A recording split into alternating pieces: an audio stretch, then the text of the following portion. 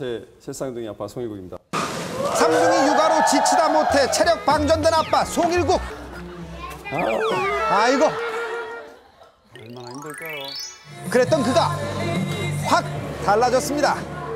날렵한 몸매는 물론 날카로운 눈매, 탄탄한 허벅지까지 삼둥이 아빠가 아닌 광고 모델로 변신. 송일국 씨 만나러 갑니다. 광모. 예, 어느 광고 촬영장인데요. 에어컨이 고장나서 무척 더웠습니다. 그러나 송일국 씨는 프로의 모습이죠. 오늘 이 순간만큼은 안 보고 짧은 휴식이죠. 일이 휴가예요, 일이 휴가. 아빠 광고 모델 어느 게 더 편한지 물어보면은 그건 뭐 당연한 거 아니겠어요? 예.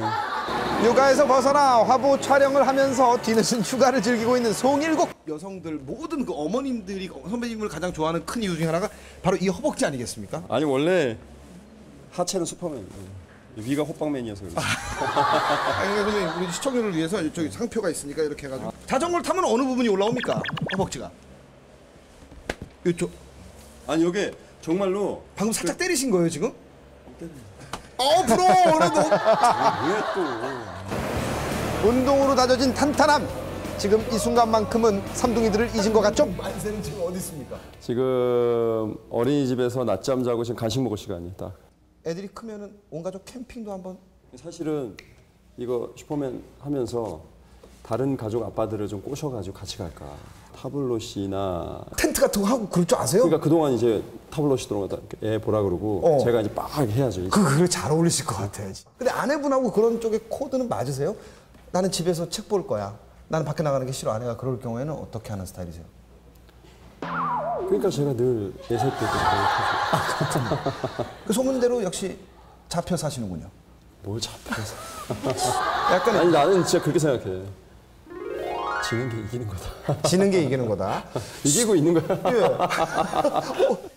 어, 슈퍼맨이 돌아왔다의 새쌍둥이 아빠 송일국 씨의 출연 결정 제일 중요한 이유 어떤 거죠? 아내의 휴가. 잡혀 사는 거 맞네요. 아니 워낙 아내가 임신했을 때부터 고생을 많이 해가지고 정말 고생 많이. 보셔서 아시겠지만 예. 4, 5개월 때 만삭배하고 똑같았어요. 새쌍둥이는 배가 다르다고 합니다. 그리고 뭐 거의 7개월 넘어갈 때는 아 인간의 배가 저렇게도 되는구나. 예, 이해가 됩니다. 예. 아니 육아는 물론 뭔가요? 운동까지 할 수 있는 새 쌍둥이 전용 송국열차 화제죠? 보통 나가면 짧게 1시간, 길면 2시간. 더 타고 싶어도 애들이 못 버텨요. 한 60km 가까이를 끌면서 타는 거죠? 그렇죠? 그 자전거 무게, 그 60kg 술의 되니까. 무게까지 네, 네, 60kg. 허벅지는 별일 없으시죠? 안녕하시고요. 허벅지는 안녕하시고 아니, 건강합니다. 항상 허벅지를 치세요. 그거 굉장히 자신감 있을 때 치는 건데 부러워요. 아 그래요? 예. 한계에 도전하는 남자 송일국. 좀 더 깊은 얘기를 나눕니다. 쌍둥이 키울 때 모모의 한계를 느껴봤다. 뭘까요? 의외죠? 유치함의 뭐야, 한계를? 느껴봤다. 아 애들하고 있다 보니까 오바해야 돼요. 그냥 하면 어 일로 오세요 그러면 안 와요. 야! 이래야 와. 아, 카리스마 오늘 내려놨습니다. 오바하게 되고 유치해지더라고요. 귀여워요.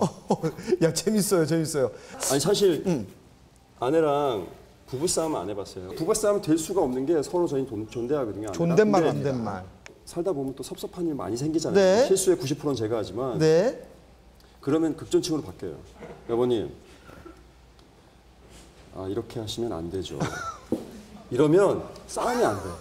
그래요. 그래도 부부싸움을 아직 안 했는데 만약에 할때 그러니까 아무튼 아내와 대화할 때 대화할 때? 때 모모의 한계를 느껴봤다. 말빨의 한계를 느꼈다. 절대 말싸움. 아내하고 할 생각을 안 해요 저는. 100%가 아닌 다음에는 어. 99%여도 그 1%의 여지 때문에 네. 제가 지더라고요. 그러니까 아내분은 100권이 넘는 법, 법전을 다 외우신 판사분이니까 이게 논리가 안 되는군요. 안, 저안 돼. 안 돼. 어떻게 노력해 볼 생각은 없으니까 뭐 지금부터 신문을 다 읽는 데다가 소설책을 하루에 세 권씩 읽는 데다가 죽을 때쯤 이길 수 있겠다. 죽을 때쯤 이길 수 있겠다. 아 오늘 너무너무 유쾌한 인터뷰 감사드리고요. 아닙니다. 전국에 계신 시청자 여러분께 인사 부탁드립니다. 네, 시청자 여러분. 어, 길에서 저와 대한민국 맛을 보시면 외면하지 마시고요. 꼭 도와주십시오. 저는 늘 도움의 손길이 필요합니다. 감사합니다. 오늘 인터뷰 감사합니다. 아, 예, 감사합니다. 오늘 인터뷰 고맙습니다.